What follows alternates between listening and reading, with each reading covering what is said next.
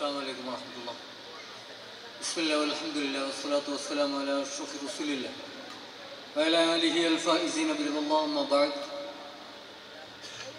ദീർഘമായ ഒരു സംസാരത്തിനുള്ള സമയമല്ല എന്നറിയാം പ്രതീക്ഷിച്ചതിനേക്കാൾ അല്പം സമയം വൈകിപ്പോയിട്ടുണ്ട് നമ്മുടെ കുഞ്ഞുമക്കളുടെ അട്രാക്റ്റീവായിട്ടുള്ള പെർഫോമൻസ് നാം എല്ലാവരും ആസ്വദിച്ചു കണ്ടു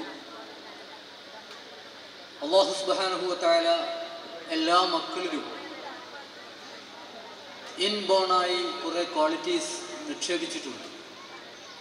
അത് എല്ലാവരുടേതും ഒരുപോലെയല്ല. ഒരു വീട്ടിൽ ഒരേ മാതാപിതാക്കൾക്ക് ജനിച്ച വ്യത്യസ്ത മക്കൾ പോലും അവരുടെ അടിസ്ഥാനപരമായ കഴിവുകൾ വ്യത്യസ്തമായി. ആ കഴിവുകൾ വ്യത്യസ്തമാകൽ ലോകത്തിന്റെ നിലനിൽപ്പിന് ആവശ്യവുമാണ്.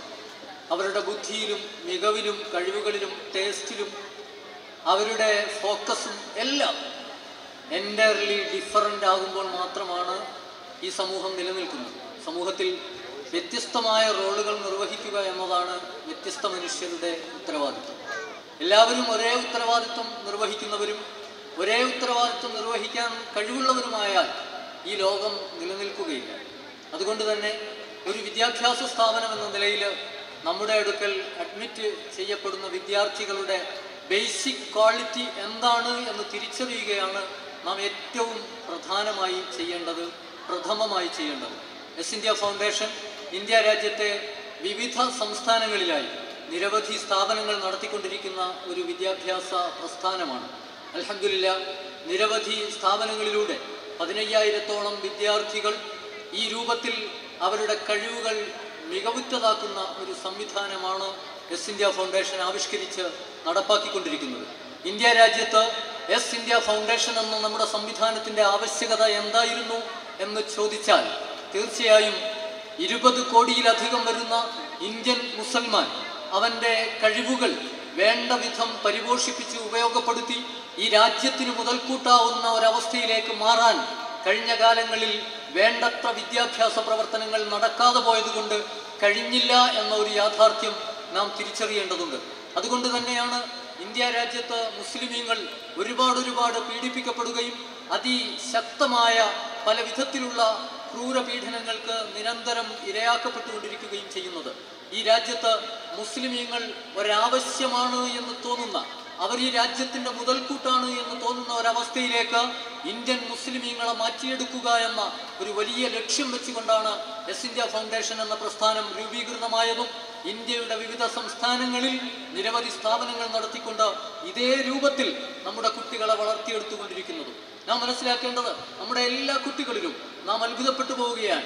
ചെറിയ മക്കൾ അവർ പരിശീലിപ്പിച്ച എന്താണോ പരിശീലിപ്പിക്കപ്പെട്ടത് അതിനെ അതേ രൂപത്തിൽ അവതരിപ്പിക്കുന്നത് കാണുമ്പോൾ ആ കുട്ടികളിലെ ക്വാളിറ്റി എന്താണ് എന്ന് നാം തിരിച്ചറിയാതെ പോകുന്നത് വലിയ ഒരു അപകടമായിരിക്കും അവരോട് ചെയ്യുന്ന വലിയ ഒരു പീഡനമായിരിക്കുമെന്ന് ഞാൻ മനസ്സിലാക്കുകയാണ്. എസ് ഇന്ത്യ ഫൗണ്ടേഷന്റെ അടുക്കൽ വ്യ- വ്യ- വ്യക്തമായ സിസ്റ്റമുണ്ട് ടീമുണ്ട്. ഹൈലി എഡ്യൂക്കേറ്റഡ് ആയിട്ടുള്ള എക്സ്പേർട്ട് ആയിട്ടുള്ള ടീമാണ് ഇന്ത്യ രാജ്യത്തെ ഈ മുഴുവൻ സംസ്ഥാനങ്ങളിലെയും പുതിയ തലമുറയിലെ മക്കളെ അവരുടെ ടേസ്റ്റും അവരുടെ ഐക്യവും അവരുടെ ക്വാളിറ്റിയും എല്ലാം പരിഗണിച്ചുകൊണ്ട് ഓരോരുത്തരുടെയും കാലിബറിനനുസരിച്ചുള്ള ഡെവലപ്മെന്റിന് ആവശ്യമായ വേദി ഒരുക്കി കൊടുത്തുകൊണ്ട് അവരെ കൈപിടിച്ചുയർത്തുക എന്ന വലിയ ലക്ഷ്യത്തോടുകൂടി നാം പ്രവർത്തിച്ചുകൊണ്ടിരിക്കുന്നത്. നമ്മുടെ അടിസ്ഥാനപരമായ ലക്ഷ്യം മുസ്ലിം കമ്മ്യൂണിറ്റിയുടെ പുതിയ തലമുറയെ ലോകത്തിന് ആവശ്യമുള്ള പ്രത്യേകിച്ച് ഈ രാജ്യത്തിന് ആവശ്യമുള്ള ഒരു വിങ്ങാക്കി മാറ്റുക എന്നതായതുകൊണ്ട് തന്നെ ഈ സ്ഥാപനത്തിലെന്നല്ല നമ്മുടെ മുഴുവൻ സ്ഥാപനത്തിലും അഡ്മിറ്റ് ചെയ്യപ്പെടുന്ന മുഴുവൻ കുട്ടികളെയും അവരുടെ കഴിവുകൾ തിരിച്ചറിഞ്ഞ് അവരെ ഏറ്റവും പീക്ക് ലെവലിലേക്ക് എത്തിക്കുക എന്നത് നമ്മുടെ അടിസ്ഥാനപരമായ ലക്ഷ്യമായതുകൊണ്ട് തന്നെ ഞാൻ എന്റെ പ്രിയപ്പെട്ട രക്ഷകർത്താക്കളോട് ഉറപ്പു നൽകുന്നു. നിങ്ങൾ ഈ സ്ഥാപനത്തിൽ വിദ്യാർത്ഥികളെ ചേർത്തിട്ടുണ്ട് എങ്കിൽ ചേർക്കുന്നുണ്ട് എങ്കിൽ നമ്മുടെ പതിനയ്യായിരത്തോളം വരുന്ന ഇന്ത്യയിലെ വിവിധ സംസ്ഥാനങ്ങളിലായി പരന്നു കിടക്കുന്ന നമ്മുടെ വിദ്യാർത്ഥി സമൂഹത്തോടൊപ്പം നിങ്ങളുടെ മക്കളും ചേരുകയാണ്.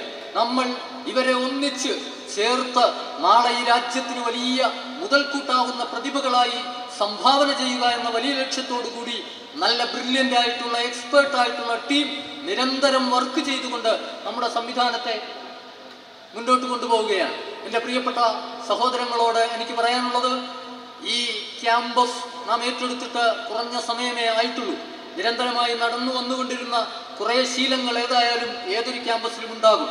ആ രൂപത്തിൽ ഇവിടെയും നിലനിന്നിരുന്ന ആ ശീലങ്ങളെയും സിസ്റ്റങ്ങളെയും ഒക്കെ ഒരു ചേഞ്ചിന് വിധേയമാക്കുമ്പോൾ സ്വാഭാവികമായും പലവിധ പ്രതിസന്ധികളും പ്രയാസങ്ങളും നമുക്ക് നേരിടാനുണ്ട്. അത് നാം നേരിട്ടുകൊണ്ടിരിക്കുന്നുണ്ട്. നിരന്തരമായി വന്ന ചില ശീലങ്ങൾ അത് മാറ്റിയെങ്കിൽ മാത്രമേ നമുക്ക് ക്വാളിറ്റി വർദ്ധിപ്പിക്കാൻ പറ്റുകയുള്ളൂ.